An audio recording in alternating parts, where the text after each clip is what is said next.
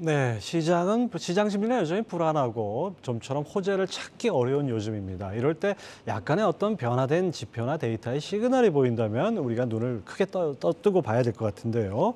9월 첫째 주 증시에 뭔가 좀 다른 시그널이 있다 이렇게 제시하신 분이 있습니다. 하나증권 이재만 투자전략팀장 모셨습니다. 어서 오십시오. 안녕하십니까.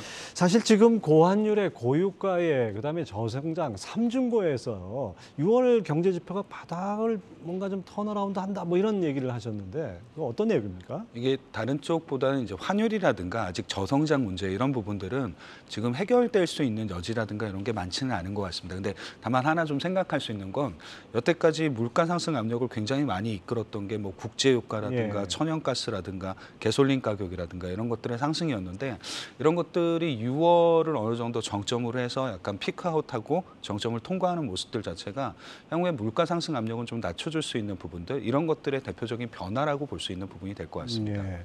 하지만은 뭐 대주 FOMC가 예정돼 있고 또 엊그저께 그 미국에서는 그 8월 CPI 충격 쇼크였죠. 다행히 우리 시장은 좀 선방하는 것 같은데, 자 FOMC 쇼크는 이미 선방형 선반영됐다 이렇게 봐도 될까요? 아무래도 이제 FOMC 회의에서 9월은 75bp를 인상할 거라는 걸 거의 기정사실화 네. 받아들이고 있고 그게 금리라든가 주가에는 좀 반영이 된 부분은 이미 가격적인 부분이 어느 정도 선반영했다는 생각은 갖고는 있습니다.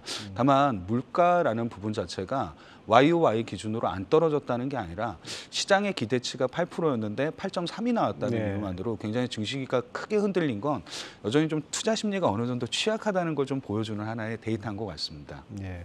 거기다 이제 우- 러시아 우크라이나 전쟁으로 인해서 연초부터 뭐 식량, 에너지까지 지금 들썩거리고 있고, 그뭐 그것이 바로 인플레이가 아주 직접적인 원인이 됐고 한데요. 자, 러시아 사태, 이 우크라이나 사태가 장기화될 경우에 이 파장도 또 좀 생각해 봐야 될 텐데 어느 정도로 보십니까? 아무래도 그 파장은 지금에도 충분히 반영이 많이 되고 있는 상황인 것 같습니다. 달러가 왜 강세일까를 생각해 보면 안전자산에 대한 선호도일 테고 어, 실제로 보게 되면 기업들의 주가가 많이 하락한 이유도 어, 인플레 압력 때문에 수익성이 악화될 거라는 생각들도 주가에는 반영이 되고 있는 상황인 것 같습니다. 장기전으로 가게 되면 상당히 좀 불리하게 환경이 유지가 될 수밖에 없겠습니다만 혹시 이런 부분들이 새롭게 악재로 작용할 거냐에 대한 부분은 전면전이라든가 다시 확산전으로 가지 않는다라고 하게 되면 크게 다시 리스크로 부각되거나 그게 지수를 끌어내리는 요인은 아닐 거라는 생각은 갖고는 있습니다. 네, 뭐 해묵은 해묵은 악재는 사실 이미 다 네. 반영됐다 이렇게 봐도 될 것 같군요. 하지만 이제 이 겨울철이 다가오고 있고 그다음에 러시아의 그 가스 수출 통제라든지 그다음에 인플레 우려 이런 것들이 한꺼번에 해서 다시 한번 그 유가를 자극할 가능성은 없습니까? 유가는 아무래도 이제 공급 부분의 이슈도 굉장히 중요할 거라고 생각 을 갖고 있습니다. 근데 실제로 보게 되면 지금이 공급 부분의 이슈로 인해서 상당히 고유가를 좀 유지하고 있는 상황이라는 생각을 갖고 있고요. 대신 수요라든가 이런 측면을 좀 생각해 보면 지금보다 유가 레벨은 조금 더 낮아질 수 있는 가능성도 충분히 있어 보인다라고 판단을 갖고 있습니다.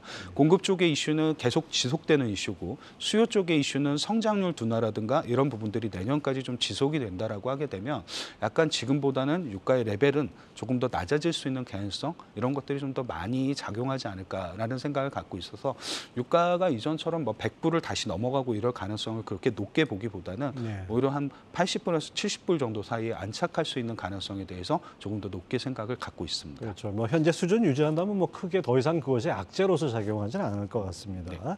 자, 하지만은 이제 이 소위 말하는 이 달러 초강세 때문에 원화 가치 하락이 상당히 여러 가지 파장을 미치고 있습니다. 특히 외환 보유액이 많이 줄었다. 이것이 좀 상당히 좀 이렇게 그 민감하게 반응할 수밖에 없는데요. 이로 인해서 어떤 위험 자산 이탈 가능성 이런 점에서는 그, 그것이 또 시장에 영향을 미치지 않을까요? 아무래도 이제 환율은 굉장히 주식 시장을 보고 여러 가지 금융 자산들의 가격 변화를 보는 데는 굉장히 중요한 포인트는 맞는 것 같습니다. 네. 그리고 원달러 환율이 이렇게 상승하는 것 자체가 좋은 이슈만으로는 해석이 되기가 굉장히 어렵다는 생각도 갖고 있고 외국인의 이탈 문제라든가 한국을 바라보는 펀드멘탈에 대한 취약성에 대한 문제 네. 이런 것들도 다 부각은 될 수 있더라고 보여지게 됩니다. 근데 다만 이런 것들이 상반기 때 진행됐던 상황을 말씀드릴 수 있는 부분이라고 하게 되면 하반기 들어서 약간 변한 부분 중에 하나는 결국 외국인이 원달러 환율이 1,300원에서 1,400원에까지 육박하는 이 기간 동안에도 국내 주식시장에서는 특별하게 순매도를 취했다기보다는 오히려 약간의 일부긴 합니다만 예. 매수로 좀 전환을 했다는 예. 좀 특징들을 갖고 있다는 점은 원달러 환율이 1,400원 이상을 넘어가는 그런 이런 형태는 보이지 않을 거라는 생각도 외국인들이 갖고 있는 어느 정도의 생각을 조금 뒷받침할 수 있는 하나의 변화라고 보실 수 있는 부분도 될 것 같습니다.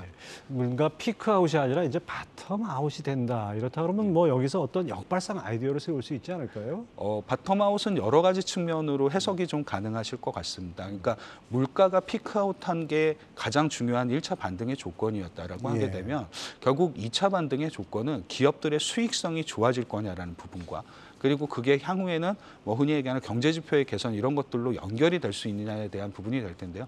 당장은 경제 지표라든가 이런 것들이 막 추세적으로 좋아지긴 좀 쉽지는 않은 환경은 예. 맞는 것 같습니다. 그러면 기본적으로 이렇게 기업들 또는 업종들을 좀 바라보실 때 수익성이 좀 나아질 수 있는 기업들 또는 업종들 이런 쪽을 바라보신다라고 하게 되면 그게 bottom out이라든가 peak out을 갖고 활용하실 수 있는 역발상적인 전략의 아이디어는 될 수 있을 거라고 예. 보여지게 됩니다. 자 그리고 또 미국 인플레 감축법 으로 그, 여- 그 수혜주로 꼽히는 게 또 태양광입니다. 네. 미국 시장도 그렇고 우리 시장도 그렇고 상당히 주가 강세인데요.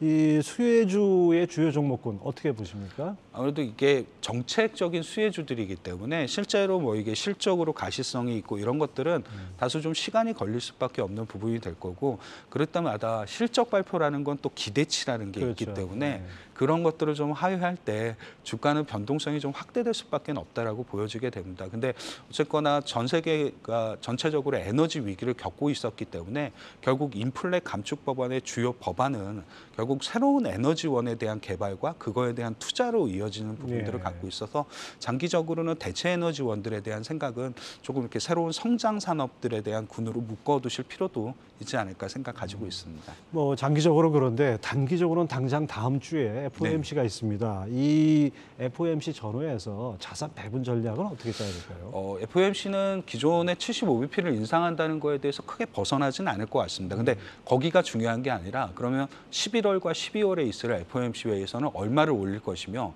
내년에는 기준금리 정책이 어떨 것이냐가 훨씬 더 중요할 것 같습니다.